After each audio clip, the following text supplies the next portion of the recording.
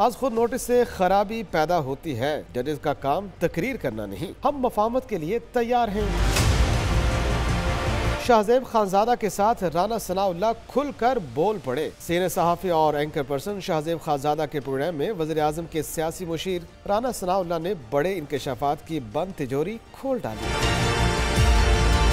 सबक विफाकी वज़ीर दाखिला ने शायर अहमद फरहाद से मुतलिक इस्लामाबाद हाई कोर्ट की कार्रवाई पर कहा कि रिमार्क्स और आज खुद नोटिस से बड़ी खराबी पैदा होती है और मामला बिगड़ते हैं। उन्होंने कहा कि जज साहिबान का काम इस किस्म की तकरीर करना नहीं है।